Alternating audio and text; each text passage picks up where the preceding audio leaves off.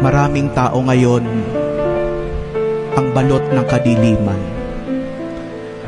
At kapag ka ikaw naging liwanag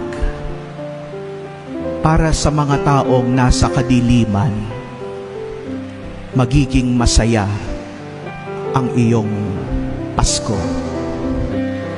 My dear brothers and sisters, this night is different from other nights because this night, though in the midst of the pandemic, though in the midst of sorrow, though in the midst of violence, this night is a good night. This night is a holy night.